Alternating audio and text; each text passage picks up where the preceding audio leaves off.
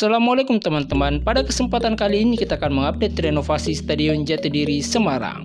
Supporter PSS Semarang Panser Biru tak sabar untuk kembali memadati Stadion Jatidiri mendukung dari tribun kebanggaan. Pemprov Jateng tengah mengebut memperbaiki sarana dan prasarana Stadion Jatidiri sebagai home base sekuat Mahesa Jenar.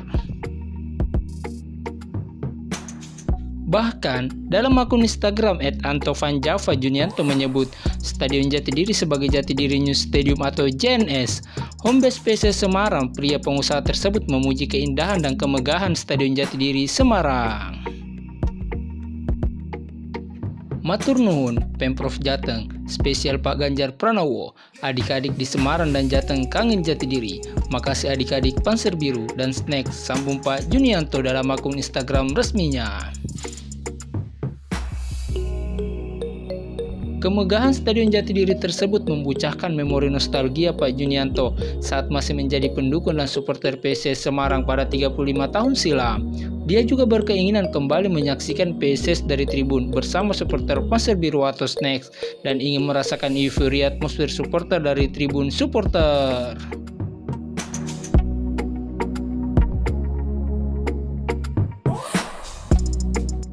Stadion Jatidiri saat ini memiliki tiga tingkat tribun dan diharapkan dapat menampung hingga dengan 45.000 penonton dengan warna seat warna biru, merah, dan kuning dengan membentuk suatu pola serta sudah full single seat.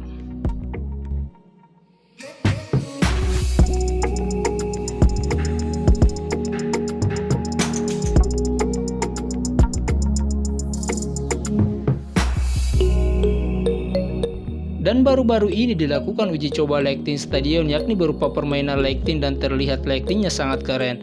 Selain lighting fasad, Stadion Jatidiri juga memiliki lighting di bawah penutup atap yang bisa berwarna-warni dan ini tentunya sangat menambah kemegahan Stadion Jatidiri.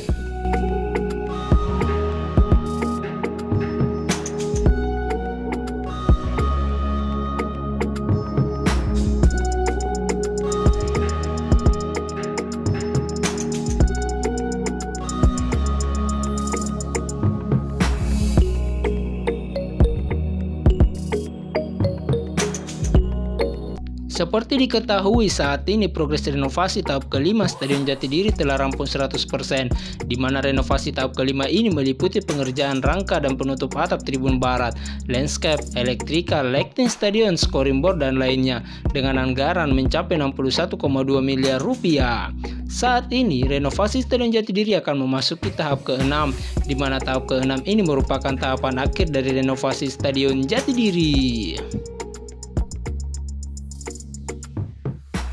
Kapasitas Stadion Jatidiri Semarang saat ini mampu menampung hingga dengan 45.000 penonton. Sebelum ada renovasi, stadion yang berada di kompleks Jatidiri ini hanya menampung 20.000 orang dan tentunya saat ini Stadion Jatidiri akan dilakukan standarisasi oleh PSSI untuk mengetahui apakah Stadion Jatidiri ini sesuai dengan standar FIFA atau AFC.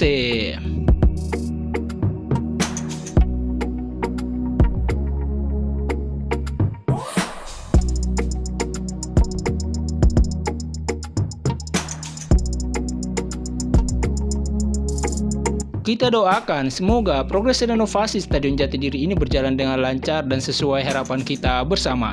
Dan tak lupa pula kita doakan para pekerja agar senantiasa diberi kesehatan, keselamatan dan dilimpahkan rezekinya. Amin. Cukup sekian kali ini pembahasan kami. Jangan lupa like, subscribe, komen, serta share video kami. Terima kasih dan sampai jumpa lagi.